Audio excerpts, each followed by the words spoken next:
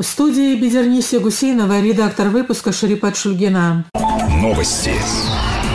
Председатель правительства Абдул-Муслим Абдул-Муслимов провел заседание оперативного штаба. Главный вопрос – проблемы отопительного сезона в республике. Из-за снегопада объекты электроэнергетики и газоснабжения работали со сбоем, без тепла и света оставались тысячи потребителей. Что делать, чтобы ситуация не повторилась, обсудили участники оперштаба. Подробности у Магомеда Баширова. Снег, дождь, ветер и любое другое природное явление приводит к массовым отключениям света, от которых уже давно страдают дагестанцы. Постоянный ремонт, верные отключения с предупреждением и без – эти и другие проблемы в энергетике региона уже не первый год. Это все результат неполноценной подготовки осенне-зимнему периоду, и поэтому внештатных ситуаций становится больше. Мы провели, скажем так, сплошной тепловизионный контроль всех подстанций 35 киловольт и выше и всех воздушных линий 35 киловольт и выше. Для этого мы э, с других филиалов э, пригласили сотрудников. Работу мы сейчас эту завершили. Мы выявили большое количество э, дефектов по нагреву оборудования, которые сейчас в установленном порядке устраняем для того, чтобы по этой причине не допускать отключения оборудования. Мы все понимаем. Мы все понимаем, что сегодня э, к расходованию бюджетных средств тоже должно быть такое тонкое отношение. Но в связи с тем, что это связано с созданием необходимых условий для граждан, для жителей республики, мы вас просим на это обратить внимание. Где наибольшее частое отключение идет. Качественное газоснабжение – второй не менее важный пункт, связанный с отопительным периодом. Анализ ситуации, в которой сегодня находятся газовые хозяйства региона, требует сделать выводы и начать показывать результат работы. Пробелы в техническом обслуживании приводят к смерти людей от хлопка или угара газа. Причина – несертифицированная современное оборудование. Мне доклады не нужны ваши. Мне дайте результат. Вы же руководитель инспекции. Да. Все, если руководитель инспекции, соответствующие контрольно-надзорные органы, представьте соответствующую информацию. И приведите 15, 20, 50 штук фактов о подключении несертифицированного оборудования. Есть. Все. А почему не делаете вы это? Вы ждете, пока дальше тоже, чтобы исходы были, что ли? Результат должен быть и в кассовом освоении бюджетных денег. Нацпроекты и госпрограммы должны быть реализованы вовремя и без сбоев. Здесь важно грамотно спланировать и закупочную деятельность, причем закончить все процедуры надо в первом полугодии. Министерство финансов проводит работу по подготовке предложений по оптимизации расходов в целях обеспечения сбалансированности бюджета и сокращения его дефицита. В связи с этим финансирование расходов осуществляется исходя из приоритетности финансового обеспечения социально значимых и первоочередных расходов, а также возможного сокращения отдельных позиций. Просьба не направлять предложения по финансированию по отдельным расходам полугодовых или годовых назначений с целью привлечения процента кассового расхода. Всем министрам, районным главам и руководству налоговой службы поручено подготовить предложение по увеличению налогооблагаемой базы. Сегодня в Махачкале очередная сессия Народного собрания Дагестана. Ключевой вопрос повестки – отчет о результатах деятельности правительства республики. С докладом выступил премьер Дагестана Абдул-Муслим Абдул-Муслимов. Что поменялось за последний год в регионе – репортаж Виктории Кубаевой. Прошлый год выдался непростым, и анализируя его итоги и проведенную работу правительством, обязательно надо помнить про развязанную Западом санкционную войну против России. Это заставило всех еще раз переосмыслить свои планы, но сразу же руководством страны была поставлена задача реагировать быстро, а все намеченные планы воплотить в жизнь. Эту работу на месте координирует оперативный штаб, возглавляемый председателем правительства Абдул-Муслимом Абдул-Муслимовым.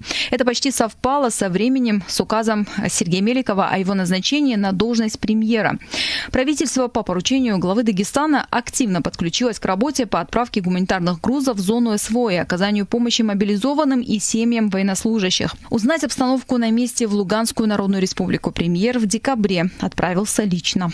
Дагестанская экономика быстро адаптировалась к новым условиям. Все приоритетные направления получили поддержку. Идет масштабное строительство социальных объектов, школ, детсадов, ФАПов и больниц. По объемам капитального ремонта школ мы вовсе в лидерах по стране. В целом для сферы строительства 2022 завершился положительно. Дагестан – единственный регион России, представляющий субсидии на покупку жилья инвалидам первой группы и семьям с детьми-инвалидами. Безработных в Дагестане стало вдвое меньше. В регионе реализуется порядка 7 тысяч социальных контрактов на сумму свыше 900 миллионов рублей для самозанятых. Свое дело открыли уже более двух тысяч человек. Продолжается реализация программы «Безопасные качественные дороги». Десятки километров автотрасс стали соответствовать современным стандартам. Промышленность – хребет экономики. В русле политики импортозамещения освоено производство новой продукции на старейшем предприятии Республики Дагестан стеклотара в Дагогнях. Наращивают объемы производства ранее запущенной фабрики и заводы. Для всего этого необходимо устойчивое энергосбережение. В духе времени Дагестан осваивает возобновляемые источники. Летом в Южно-Сухокумске запускается крупная солнечная электростанция на 15 мегаватт. А к концу года власти Дагестана подписали соглашение с Русгидро о строительстве Могохской гидроэлектростанции мощностью 49,8 мегаватт. Республика – ведущий животноводческий регион страны. Правительство делает все возможное для поступательного развития отрасли, что позволило не просто сохранить достигнутые позиции, но и ощутимо повысить производство продукции в основных секторах АПК, что подтверждают и итоги минувшего года. По всем показателям и по индексу развития сельского хозяйства на 1,8-2% превосходит прошлогодние показатели. Показатели одно, но когда сегодня мы воочию здесь это все видим, видят горожане, наши махачкалинцы, какая высокая экологичная продукция производится на наших фермах, на наших полях, это очень приятно. По итогам уборочной кампании валовый сбор винограда составил более 200 тысяч тонн урожая. Около полутора миллиона тонн овощей собрали с полей. Хорошие темпы развития набирает и рисоводство. Валовый сбор уже достиг 136 тысяч тонн, что является наилучшим результатом в истории рисоводства республики. С развитием сырьевой базы отрасли параллельно развивается сфера переработки. В Кизлярском районе только в этом году с участием средств господдержки осуществили техническую модернизацию трех цехов цехов по переработке риса. Динамичное развитие отрасли рисоводства стало возможным в том числе и благодаря существенной господдержке мелиоративного комплекса. Более 800 миллионов рублей было направлено из республиканского бюджета на реконструкцию и восстановление мелиоративной сети региона. Ведущий животноводческий регион России Дагестан продолжает наращивать поголовье крупного и мелкого рогатого скота. На полях республики уже пасутся около миллиона коров и более 4,5 миллиона овец и коз. Положительная динамика наблюдается и в производстве основных видов животноводческой продукции – мяса, молока, яиц и шерсти. К примеру, в республике ежегодно производится до 40 тысяч тонн баранины, известной своими вкусовыми качествами далеко за пределами республики. Еще одна бурно развивающаяся отрасль – это туризм. Тройка самых популярных точек – Дербент, Сулакский каньон и Бархан-Сарыкум. Строятся десятки гостиниц, сотни кафе, улучшается дорожная инфраструктура. Десятки тысяч людей нашли хороший заработок. Серьезный толчок к развитию получили горные районы, прежде глубоко дотационные. Такому росту помогли и работа правительства по включению Дагестана во всевозможные программы, такие как чартерная программа, туристические кэшбэки. Растут инвестиции в гостиничное хозяйство, открываются новые туристические площадки, количество туроператоров в Дагестане также растет. Федеральный центр выступил за создание круглогодичного курорта Кайкент и Всероссийского детского центра Дагестан. Первых отдыхающих здесь встретят уже в 2025 году. Депутаты Народного собрания, в числе которых и Камиль Давдеев, привезли военнослужащим в зону СВО очередную партию гуманитарной помощи. Помимо продуктов питания и предметов первой необходимости, бойцам передали подарки к Дню защитника Отечества. Репортаж Натальи Алипулатовой. День защитника Отечества депутаты Народного собрания встретили не в привычной обстановке, а вместе с военнослужащими в зоне специальной военной операции в Луганской области. Народные избранники привезли бойцам собранную в Дагестане гуманитарную помощь, продукты питания, теплую одежду, предметы первой необходимости и, конечно, посылки с подарками к празднику. Вся страна, вся Россия надеется на вас, надеется на вооруженные силы э, нашей страны, надеется на военно-морской флот. Конечно же, весь народ сегодня как единый, един, один кулак стоит в тылу и э, желает скорейшей победы.